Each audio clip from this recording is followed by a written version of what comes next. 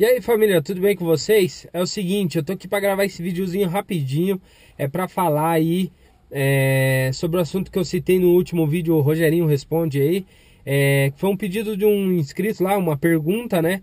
Que ele perguntou quando que ia ser o encontro de inscritos e eu marquei para sexta-feira agora, é, até falei da, da questão do meu aniversário que vai ser no domingo, então Tá confirmadíssimo, se você quiser comparecer ali no posto Pelanda, eu vou deixar o endereço aí na descrição do vídeo.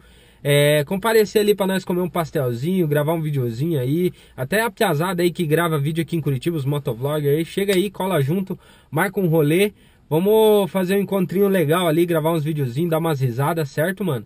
E quem quiser comparecer ali, seja muito bem-vindo, vai ser da hora. Vamos comer um pastelzão chave ali do Posto Pelanda 16.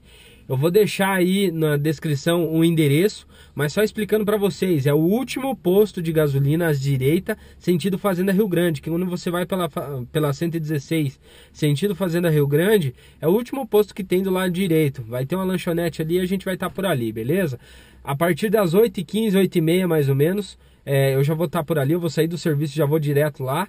Aí a gente se encontra, come um pastelzinho, se diverte, joga uma, uma ideia, né? Troca uma ideia aí, vai ser da hora, beleza, família? Então é isso aí, gostou? Deixa seu like aí, assista o último Rogerinho Responde lá se você ainda não assistiu.